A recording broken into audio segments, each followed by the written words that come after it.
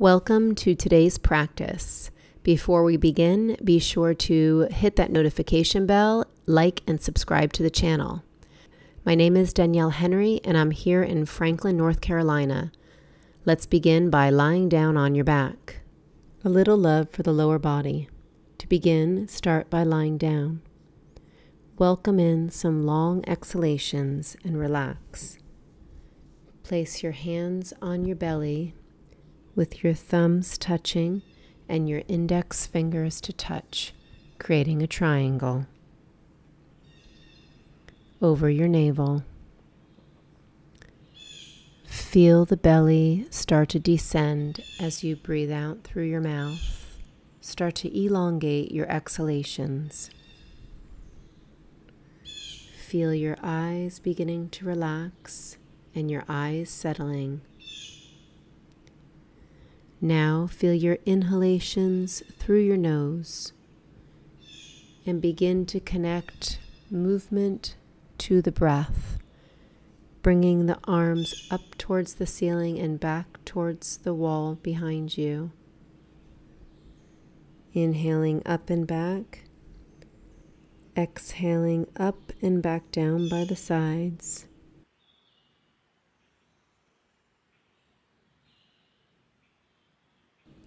Finding mobility in the shoulders.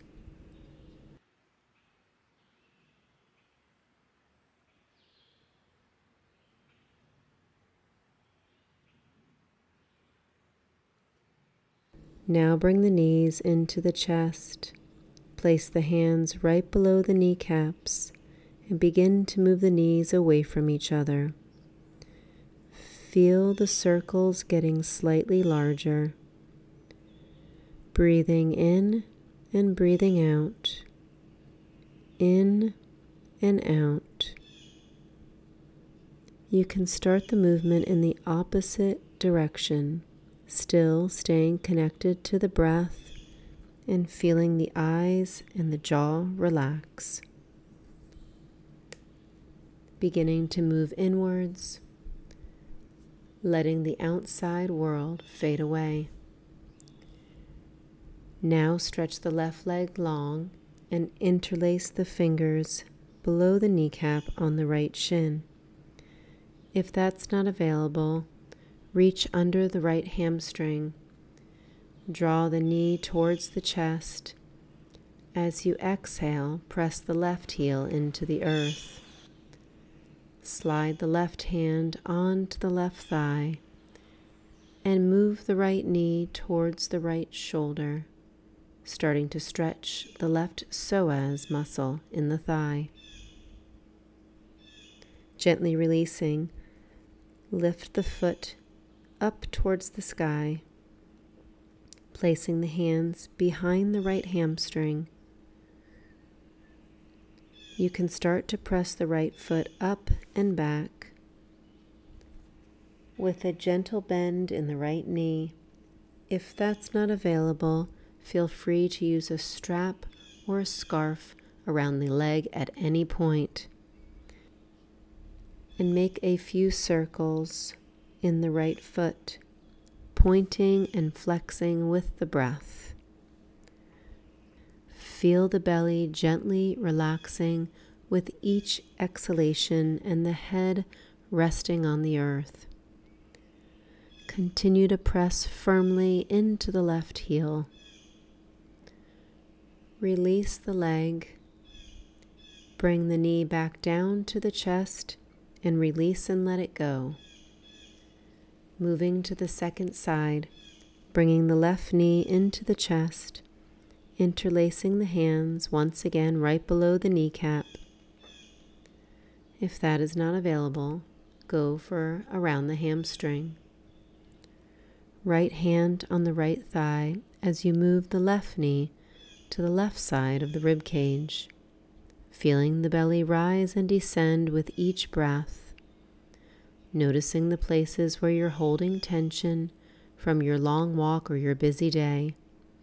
And as you feel your exhalation, begin to let go. Stretching your left foot up towards the ceiling, interlacing the hands behind the left hamstring Bend the knee ever so gently. And then over time, you can start to straighten the left leg as you begin to knee back into the chest and then release the leg down to the earth. Pause for a moment, feeling your body supported. And then roll to your side. You can use your bottom arm to support your head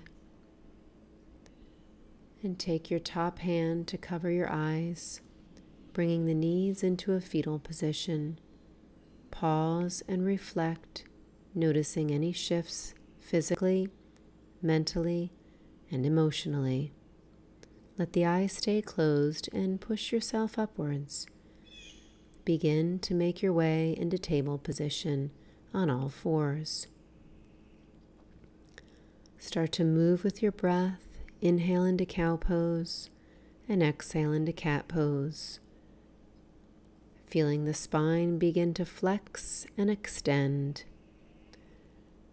Let the movement be steady and slow to the sound of the breath. Start to stretch the right foot back behind you, pressing it down into the ground, shifting forwards and backwards, feeling a stretch in the calf lifting the leg up and across the left side, feeling the same movement, but getting more of a side body stretch into the hips and the low back as you look over your left shoulder towards your right heel. Bring your foot back to the center of the mat, taking a long breath, drawing the navel in towards the spine gently Step the right foot forwards between the hands, tucking the back foot under. Push your body upwards as your hands come onto your front thigh. Purposely rounding the back, looking down towards the navel, feeling a stretch in the top of the left thigh, feeling balance by pressing into both feet making your way now into downward facing dog.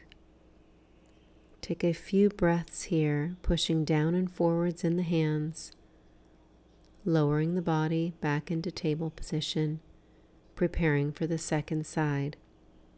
Left foot reaches back behind you, starting to shift forwards and back. Then take it across the right leg and begin to feel the movement once again in the ankle, stretching the calf. Look over the right, stretching the left side body. Deep breaths into the belly. Feel your weight evenly distributed through all 10 fingers and pause when you feel any tightness. Take an extra breath if needed. Lift the leg and bring it back to center Step it forwards between the hands into low lunge. As you bring the hands up on the front thigh, rounding the back just like cat pose, push your back toes down and forwards. Upper back is rounding. Feel some space in the top of the right thigh. Feel the back body similar to cat pose.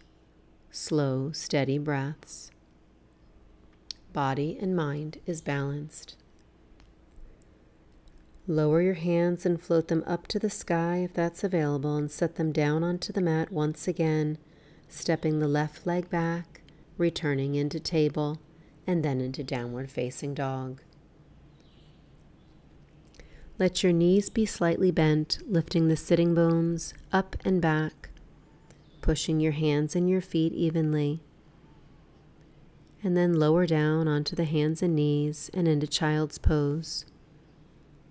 Breathe into the sides of the body. Slide the hands under the shoulders and begin to lift yourself up so you're sitting on your knees. Now come down onto your bottom, bringing the legs around to the front. Take your right leg and bring it back towards the side with the top of your right foot pressing down. If you can, lower back. If not, stay right where you are. You can lift the sit bones up and tuck the pelvis under. Let your eyes close, feeling your shoulders supporting you. And if possible, lower a little further, one step further. But remember, it should feel good, so if it's too intense, stay in the upright position. Notice if your knee is lifting.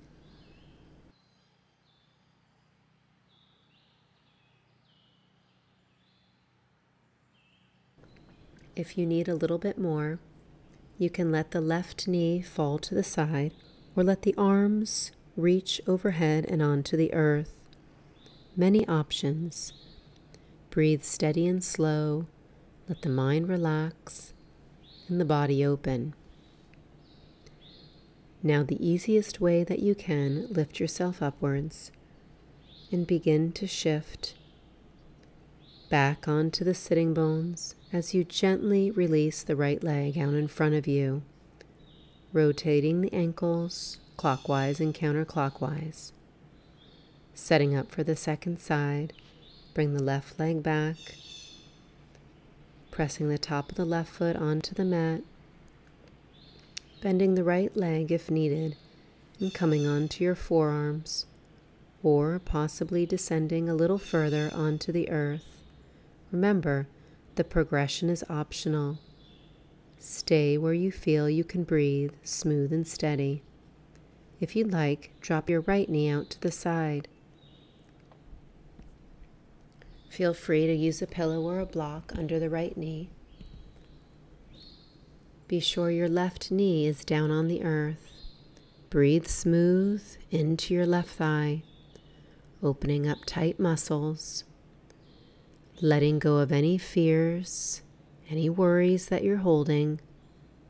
Feel the peace and calm moving through the body and mind. Lifting the arms overhead if you'd like for one or two breaths before you lift your body back upwards. Remember to release the left leg gently. Stretch both legs out in front of you and move the ankles clockwise and counterclockwise once again. Now you can cross your right leg over your left thigh above the knee and bring your left hand onto the foot. You can place each finger between each toe and begin to move the ankle in both directions. Try to close the space and stack your right knee on top of your left knee with your left hand on the right ankle and your right hand off to the side for support, engaging the left leg muscles, beginning to open up the hamstrings and the hips.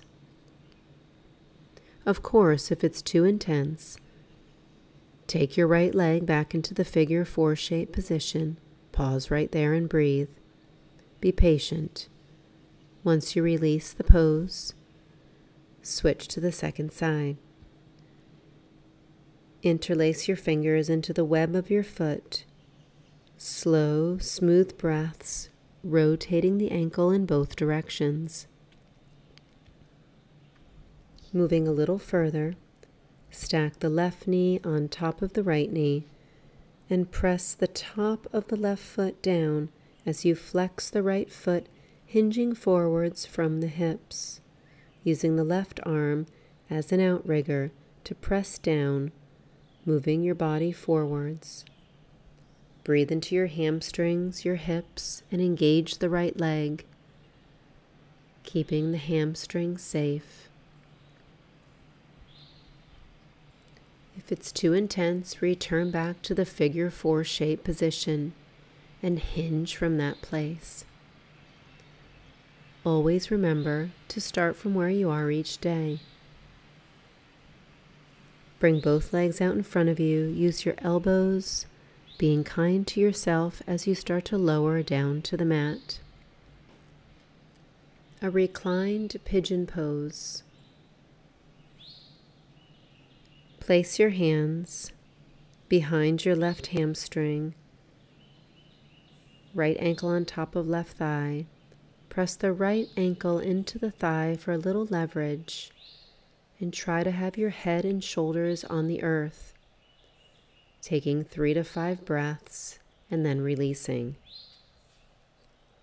Once you let go, let the left knee drop over to the left side, keeping the right ankle right where it was, and looking towards your right hand.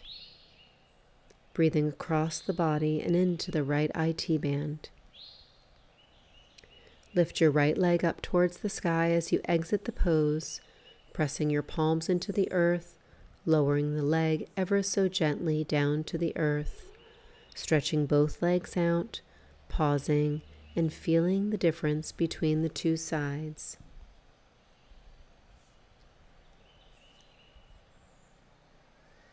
Exhale out and let go. Let's move to the second side. Bend your legs. Cross your left ankle on top of your right thigh.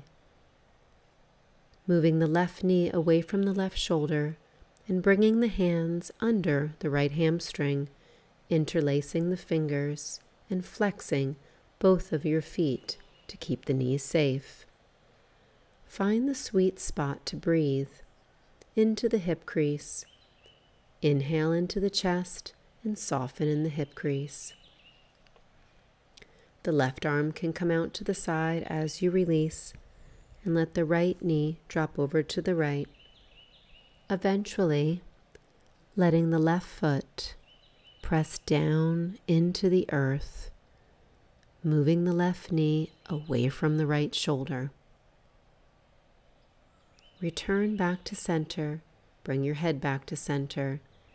Stretch the left foot up to the sky with the palms facing down and lower the left leg down to the earth. Stretch the right leg out to meet the left. Turn the palms to face up and separate the feet a little wider than the hips. Close your eyes. It's time for Shavasana.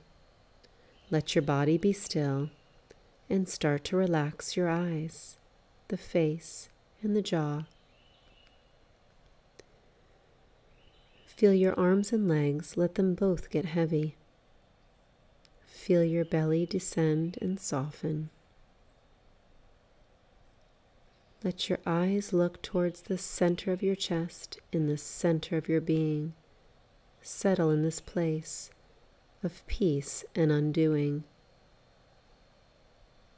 As you hear my voice once again, know that you can stay here for another eight minutes or so.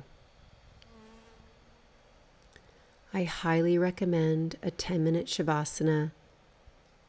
I'll link one below in the comments. Otherwise, if you're short on time, begin to move your body slowly with your breath as your eyes stay closed.